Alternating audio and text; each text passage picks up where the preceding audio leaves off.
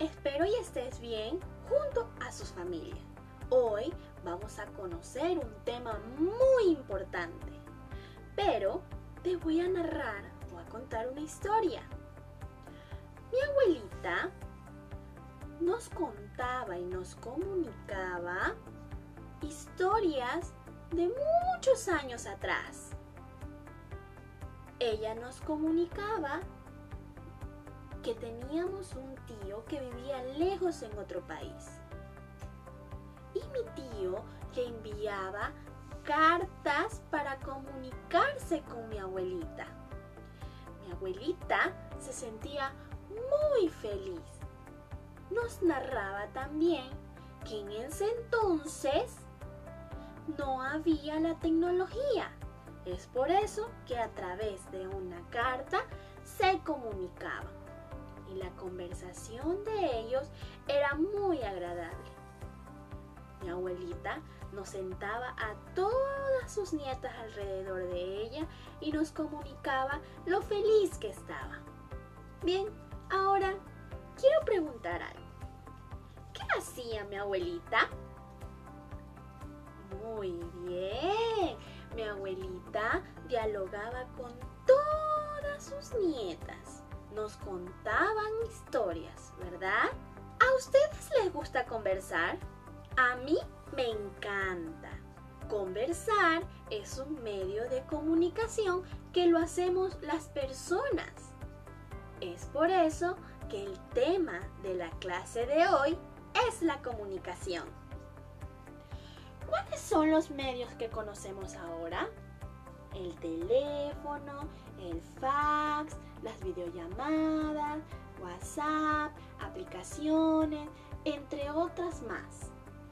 Ahora sí, entremos en detalle. ¿Qué significa conversar? Conversar es hablar o dialogar con otra persona sobre un tema determinado.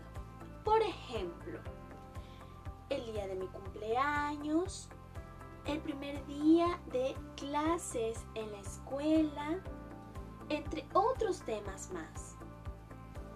Vamos a observar con mucha atención. ¿Qué es la comunicación? Es hablar con una o más personas. ¿Para qué nos comunicamos? Para conocernos, transmitir un mensaje, expresar ideas, pensamientos y sentimientos.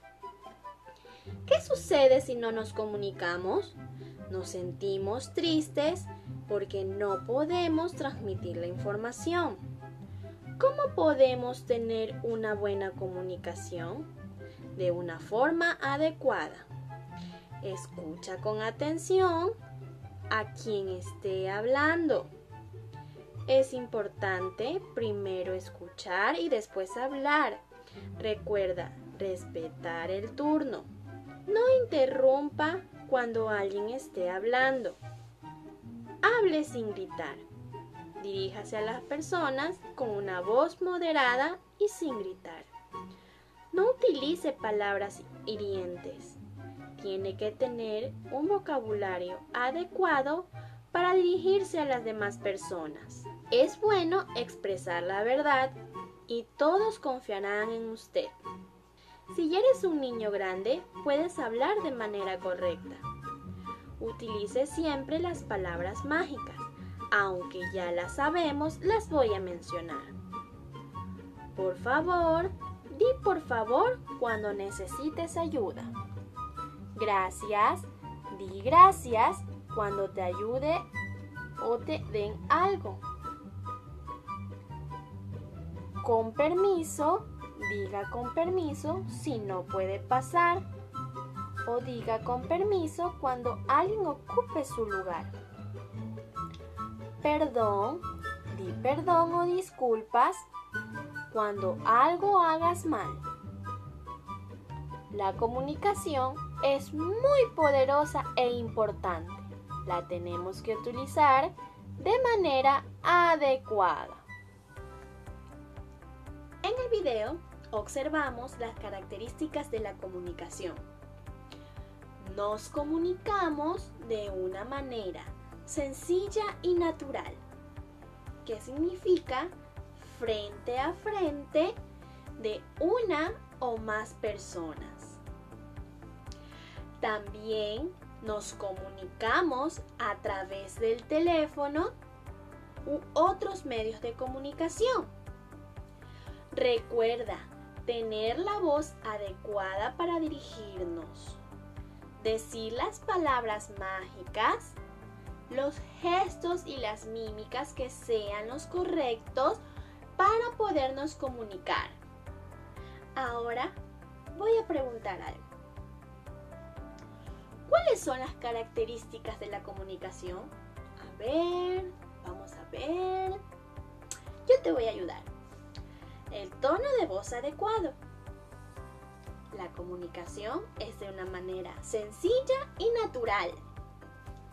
Y la expresión correcta de los gestos y mímicas. Muy bien, qué divertido es. Ya conocimos el concepto y las características de la comunicación. Entonces, vamos a aprender los elementos de la comunicación. Los elementos de la comunicación son tres. Emisor, receptor y mensaje. Por favor, observemos las siguientes imágenes con atención. Carlos está viendo las noticias en la televisión, mientras lee una carta que le ha enviado su tío Manuel.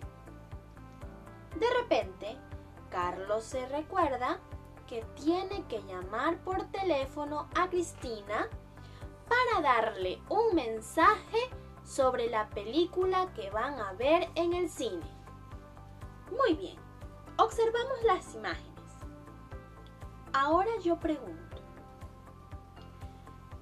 Carlos, ¿qué hizo? Se acordó que tenía que llamar por teléfono a Cristina. Muy bien. ¿Qué tenía que decirle Carlos a Cristina? Un mensaje sobre qué película iban a ver. ¿Y qué hizo Cristina? Escuchó lo que le decía Carlos. Muy bien. Ahora, ¿cómo se le llama a la persona que envía el mensaje? Emisor. Muy bien. Excelente. ¿Cómo se llama la persona que recibe el mensaje? Receptor. Muy bien. ¿Y lo que dice el emisor, cómo se llama? Mensaje. Excelente. Porque el emisor es el que da el mensaje y el receptor lo recibe. Muy bien, has estado muy atento a la clase de hoy. Espero que le haya gustado la clase. Vamos a realizar dos actividades y son las siguientes. La primera, recorte y pegue imágenes de personas que estén conversando. ¿Cómo lo vas a hacer? Desde el link www.google.com vas a buscar imágenes de personas que estén conversando. Vas a copiar y a pegarlas en la hoja de trabajo que voy a dejar adjunta. La actividad número 2 es que vas a descargar el formulario de preguntas referente al tema de la comunicación, la característica y los elementos. Vas a responder las preguntas del formulario y luego vas a volverlo a subir a la plataforma. Espero que la clase haya sido de total agrado.